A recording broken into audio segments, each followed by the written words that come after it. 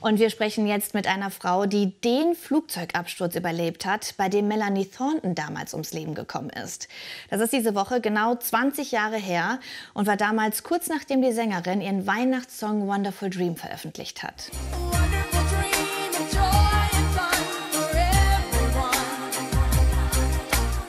der wird heute ab dem ersten Advent wahrscheinlich wieder überall rauf und runter laufen.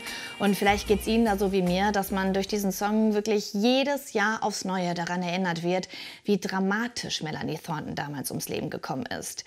Eine, die ihre letzten Minuten miterlebt hat, ist Debbie St. Martin. Sie ist auch Sängerin und saß mit Melanie Thornton in diesem Flugzeug. Jeder Blick in den Spiegel erinnert Deborah St. Martin an das, was ihr zugestoßen ist. Es wird nie mehr so sein wie früher. Diese Woche ist es genau 20 Jahre her. Die Bilder vom Absturz, immer noch präsent. Deborah St. Martin ist einer der Passagiere des Crossair-Fluges. Der Flug der Sängerin Melanie Thornton und 23 weitere Menschen das Leben gekostet hat.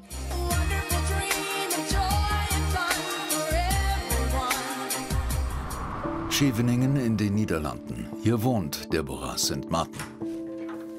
Hi, willkommen bei mir zu Hause. Kommt rein. Ein paar Dinge in ihrer Wohnung erinnern noch an ihre einstige Gesangskarriere. Deborah, genannt Debbie, gehört Anfang der 2000er zu der bekannten Girlband Passion Fruit.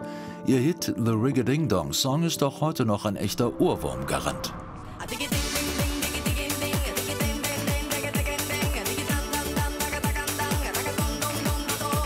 That was really a dream come true for me. Ich lebte meinen Traum. Wir hatten so viel Spaß und waren auch alle sofort gute Freundinnen. Es ist die Zeit, in der auch Popstar Melanie Thornton mit ihrer Weihnachtshymne Wonderful Dream groß rauskommt.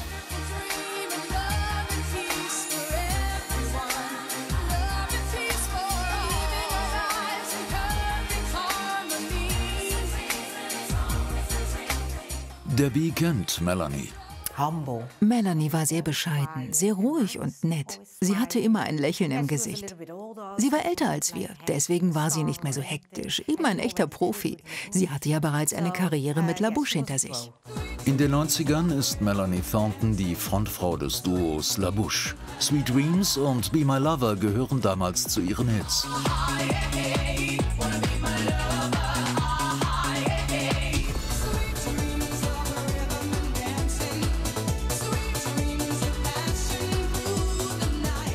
Nach der Eurodance-Ära erfindet die Sängerin sich neu. Ihr Song Wonderful Dream ist der Start in ihre lang ersehnte Solokarriere. Samstagabend, 24.11.2001 in Leipzig. Das hier ist Melanie Thorntons letzter Auftritt. Mit ihrem Hit I Love How You Love Me eröffnet sie ihr Konzert.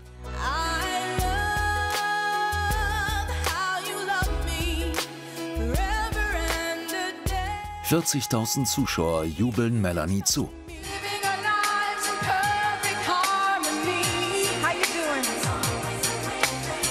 Im anschließenden Interview klingt die Sängerin nachdenklich, als habe sie eine Art Vorahnung.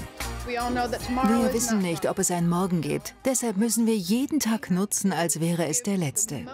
Wann immer und wo immer wir sind, müssen wir versuchen, das Leben so gut es geht zu genießen enjoy as much as we possibly can. Melanies größter Wunsch damals, Weihnachten mit ihrer Familie zu feiern. Ich werde Weihnachten mit meiner Familie in Atlanta verbringen. Ich habe meine letzte Show am 23. Dezember in Nürnberg. Und dann werde ich nach Hause fliegen und einen schönen Weihnachtsmorgen mit meiner Familie genießen. Mit meiner Mutter, meiner Schwester und ihrer Familie und Freunden and lots of friends just having a great time. Das wird Melanie nicht mehr erleben. Nur wenige Stunden nach diesem Interview steigt sie in ein Flugzeug nach Zürich. Sie muss zu ihrem nächsten Konzert. Ihre Band bleibt am Boden. Und das war für uns in dem Moment etwas traurig, weil wir eigentlich immer gern zusammen unterwegs waren. Wir wären normalerweise dabei gewesen. Also das hat uns letztendlich das Leben gerettet. Auch mit an Bord Deborah und ihre Bandkolleginnen.